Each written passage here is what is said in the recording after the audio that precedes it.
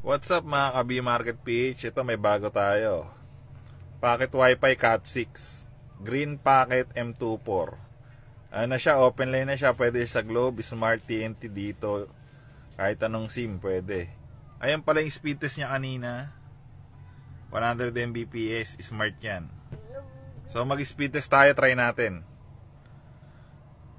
Ayan guys, mag-speed test tayo. Oh. Kanya kabilis umabot ng 100 Mbps. Ang Cat 6 packet wifi natin. So try naman natin sa Gomo. So pwede rin pala siya guys sa ano, only data, smart only.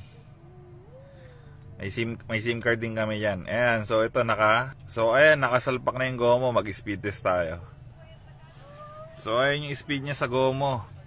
Globe, Gomo, isa lang yan, Globe or Gomo. Pwede rin siya sa Gomo only. Ayan. Pwede rin siya sa Smart, only data 599.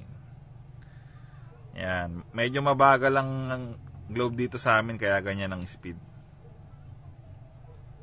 So ano pang hinihintay nyo guys? Bili na ng bago nating Packet Wi-Fi Cat 6 M24.